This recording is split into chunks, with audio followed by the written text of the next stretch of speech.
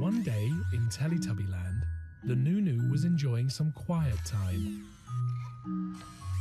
But then there was a noise. It was the Tubby phone. The Noo-Noo remembered how noisy the Tubby phone could be.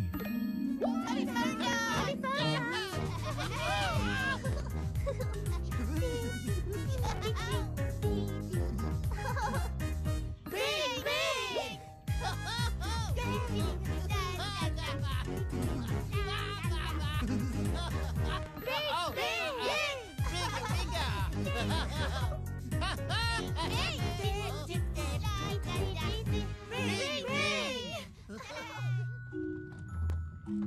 Noo-Noo was still trying to enjoy some quiet time, but then there was another noise.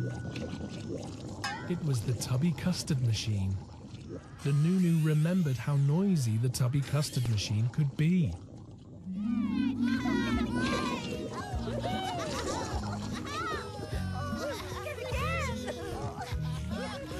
The ride went outside.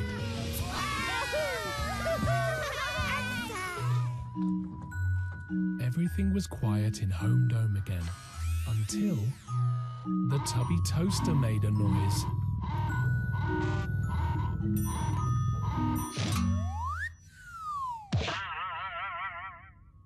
Poor Noo-Noo still wanted some quiet time. The Noo-Noo remembered a place that's always quiet. The Noo-Noo remembered the Tubby beds.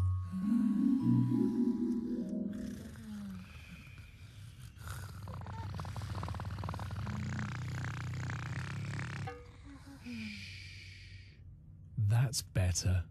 Peace and quiet. Bye bye, Noo-Noo.